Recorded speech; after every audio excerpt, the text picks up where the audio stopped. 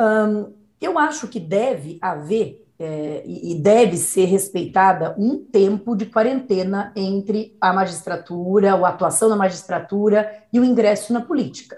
Porque eu acho que agora o caso Moro ele se tornou emblemático, nós não precisamos nem explicar o porquê, né? Porque existe a possibilidade de o magistrado usar do seu cargo para justamente é, é, prejudicar um adversário que será um adversário político logo adiante, né?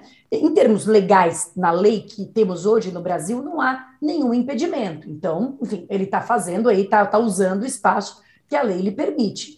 E vai se apresentar aí, né, como uma terceira via, acho que é, é isso que está se anunciando, né, tentando uh, uh, sair dessa polarização entre Bolsonaro e, e Lula, e vamos ver como é que ele vai ser recebido pela população. Mas acho Doutora Patrícia, é, Pode falar, interrompê-la, mas a senhora acha que a OAB deveria apoiar abertamente algum candidato nas eleições de 22 para presidente da República ou para outros cargos também? Acha que a OAB deveria entrar nessa política partidária, nesse varejo da política, ou, ou comentar só temas nacionais?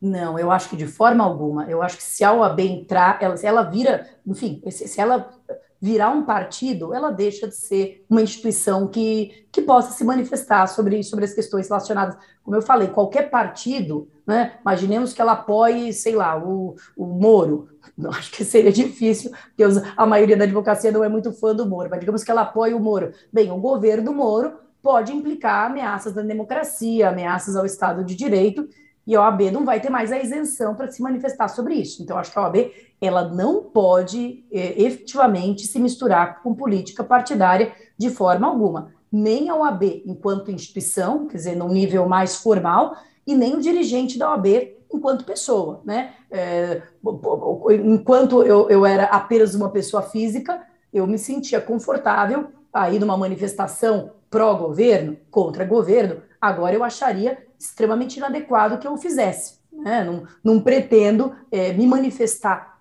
nem, nem em âmbito pessoal, uh, de forma político-partidária, durante os próximos três anos, porque entendo que o cargo exige que eu não me confunda. Né? O cargo agora está à frente de mim. Então, acho que a OAB não pode e os seus dirigentes também não podem se misturar com política partidária.